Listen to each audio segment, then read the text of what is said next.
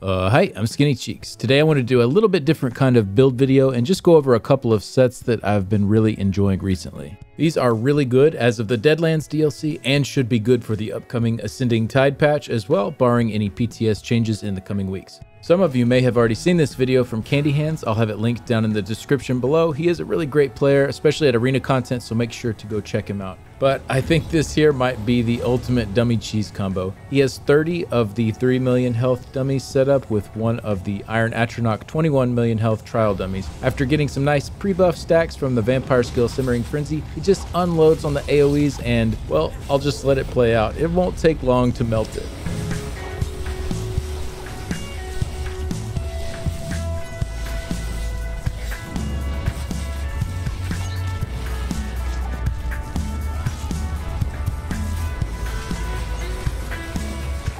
Once those 3 million health dummies respawn, it's pretty much lights out for the Iron Atronach. Just so satisfying to watch it get destroyed like that. So the sets he is using here are Azureblight Reaper from the DLC dungeon Lair of Maarselok, and then Plague Break, which is a rewards for the worthy set that you can get through PvP or purchase off of a guild trader. So I guess the question is, are these sets actually viable in content as well? And yes, very much so situationally. So the way that Azureblight works is that it puts a debuff on the enemies that stacks up with each dot tick that they receive. Once they hit 20 ticks, they explode, damaging them and all nearby enemies. Since this can't apply to all of the enemies in the area, like we saw in Candy's video, this can really set off a chain reaction where there is a ton of damage going out at once. So for single target fights or fights with only a small number of side enemies, this set really won't perform too well. But anything with a good amount of ads that stay up long enough to receive those 20 stacks and explode, this set can really start doing some damage. It does have one other drawback, and that is because it works as a debuff on the enemy, if you have more than one person wearing this, everyone essentially shares the stacks and then only one person is attributed with the explosion when it goes off. So you can get to the explosion quicker with more than one person wearing wearing it, but it generally happens so quickly anyways if you're running enough dots, and then there is a two second cooldown before the stacks can build up again. So you can't just stick this set on the whole group and get really great results. You might be able to get away with two people wearing it and it would still perform pretty well, though it would be RNG which of the two got the final ticks for the explosions. So as powerful as the set can be, it does have its limitations and is far from the best option as a set it and forget it kind of set that you just use on all encounters. Plague Break works a little differently. This set actually puts a dot on the target whenever you deal direct damage. Luckily, this set operates intelligently, and although you can only apply this to one target at a time, each instance of direct damage will prioritize a target that doesn't have the dot applied. So if you are spamming an AoE direct damage ability on a group of mobs, each hit will apply the dot to a new target. This allows it to be run on multiple people as well, though you do run into some of the same kinds of limitations as with Azure if there are too many applications of the dot and not enough targets. The second function of this set is where it gets really juicy though. If the plague is removed early, it explodes, infecting enemies within 8 meters of the carrier and dealing disease damage. This explosion deals an additional 50% damage per enemy hit. So the more enemies in the area, the higher this damage ticks for. You can see in Candy's parse, it actually had a max tick of 597,000 damage. Obviously, you aren't going to get 30 enemies stacked up like this, but this just shows how it can infinitely scale with as many targets as you can stack up. So originally, only the dot portion of this set worked in PvE, as the conditions for the second part of the set state that the effect must end early for the explosion to happen, and this meant that only purging the effect would trigger it. However, in the Deadlands patch, they reworked that ending early condition to also include if the target dies. So now if a target dies with this dot on them, they will explode in the same way as if it were purged. And similar to Azureblight, this is a pretty weak set for single target encounters as the dot itself is not really that strong and if the enemy dies and explodes and no one is around, there's no additional damage. Even with a secondary target or two, it's okay, but once you start getting past that number, it can really start to shine.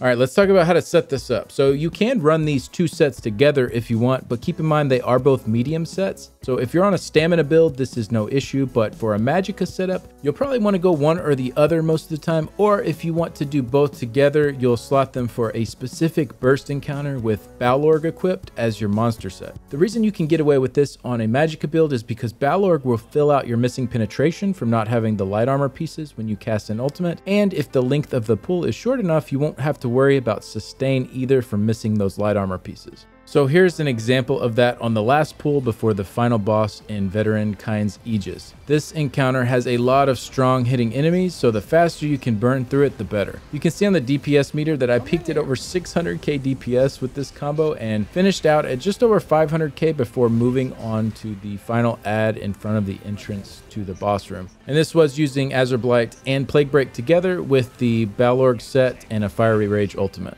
So here's another example of the same combo on a smaller pack of ads. This is just the second wave in Kyne's Aegis right after you start the trial. Not quite as high, but still well over 300k DPS on a much smaller group of enemies. So really, really nice combo.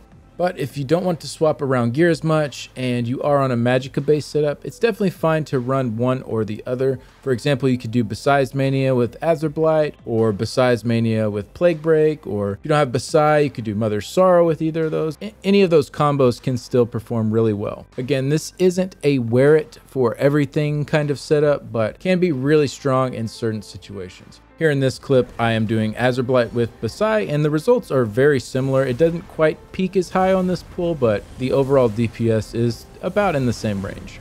So these combos can be used in a lot of places. They have a lot of use in dungeons and even four-man arenas like Black Rose Prison, uh, since there's a lot of ad waves that have a lot of enemies, and even some of the boss rounds that have a lot of side enemies mixed in with the bosses. And then like I showed in the clips, also for ad waves and trials too. I think these sets are really fun to run in dungeon runs, even if you don't swap them off for boss rounds, as just exploding all of the trash pools along the way can be super satisfying.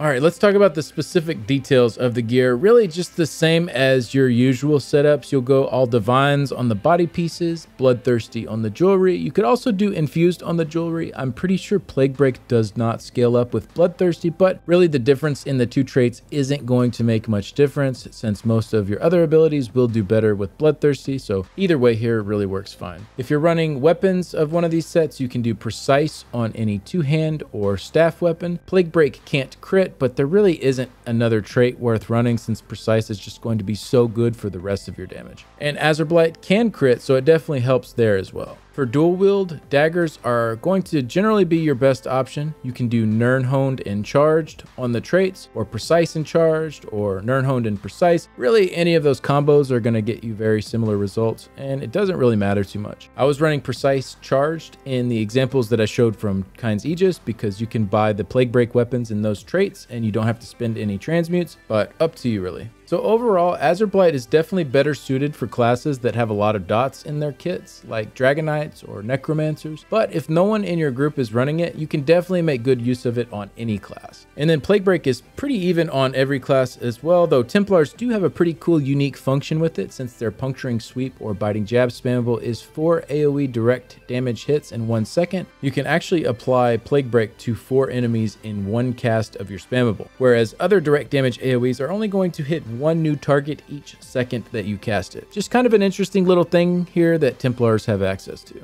All right, and then one more thing I wanted to mention, pairing one of these sets, especially Plague Break, with Dark Convergence or Rush of Agony can be really fun too, especially if you're running some dungeons solo or doing a more damage dealing type of tank role for dungeons and are confident enough to not have heavy armor equipped in this specific scenario. You can easily pull in all of the enemies with Dark Convergence or Rush of Agony and then let Plague Break do its thing when they start to die. It's a really fun combo to put together. Overall, lots of really cool options here. But that's pretty much all there is to it. If nothing else, these are really fun sets to just run in the overland zones or to do some daily random dungeons on, but they can be used all the way up to high-end situational trial scenarios as well. Saying they are my favorite sets of the patch doesn't mean that they are the best sets overall for damage across the board, but they have been the ones that I've been having the most fun with. So hopefully you guys that haven't tried these out yet get as much enjoyment out of them as I have been.